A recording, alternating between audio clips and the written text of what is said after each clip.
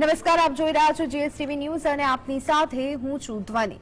ભારતના મુખ્ય ન્યાયાધીશ ડીવાય ચંદ્રચૂડે બેંગ્લોરની national law school of India યુનિવર્સિટીમાં પોતાના સંબોધન દરમિયાન વર્ક વાઇફ બેલેન્સની હિમાયત કરી હતી. આ સાથે તેમણે પોતાના દિવગન પૂર્વ પત્નીના ઇન્ટરવ્યૂ સાથે જોડાયેલો એક કિસ્સો પણ શેર કર્યો હતો. કાયદાના ક્ષેત્ર સાથે જોડાયેલા લોકો સ્વાસ્થ્યની અવગણના કરતા હોય છે, તેમ જણાવી અને તેમણે અફસોસ વ્યક્ત કર્યો હતો. ભારતના મુખ્ય ન્યાયાધીશ દીવાય ચંદ્રચૂડ લોના સ્ટુડન્ટને સંબોધિત કરી રહ્યા હતા. આ દરમિયાન તેમણે તેમના દિવંગત પૂર્વ પત્ની સાથે જોડાયેલો એક કિસ્સો શેર કર્યો હતો. તેઓ પોતાના સંબોધનમાં વર્ક લાઈફ બેલેન્સની વાત કરી રહ્યા હતા. તેમણે કાયદાના ક્ષેત્ર સાથે સંકળાયેલા લોકો સ્વાસ્થ્યના ભોગે પણ કરાયેલા લાંબા કલાકોના કામ પર ગર્વ અનુભવે છે. તેના પર અફસોસ વ્યક્ત કર્યો.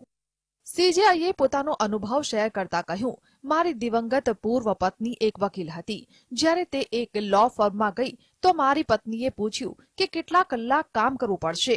તેવામાં તેમણે જવાબ આપવામાં આવ્યો કે, આ ચોવીસ કલાક અને ત્રણસો દિવસનું કામ છે. તમારે અહીં દરેક દિવસે કામ કરવું પડશે.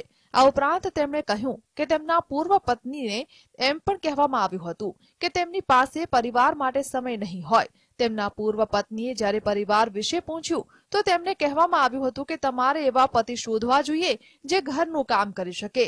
આ કિસ્સા બાદ તેમણે કહ્યું કે હવે પરિસ્થિતિ અને તેને જોવાની દ્રષ્ટિ બદલાઈ રહી છે. સીજીઆઈ બેંગ્લોરની નેશનલ સ્કૂલ ઓફ ઇન્ડિયા યુનિવર્સિટીના એકત્રીસમાં દીક્ષાંત સમારોહને સંબોધિત કરી રહ્યા હતા. આ દરમિયાન તેમણે કહ્યું હતું કે તેઓ પોતાના મહિલા કર્મચારીના માસિક ધર્મ સાથે જોડાયેલી સમસ્યાઓની સ્થિતિમાં ઘરેથી કામ કરવાની પરવાનગી આપે છે.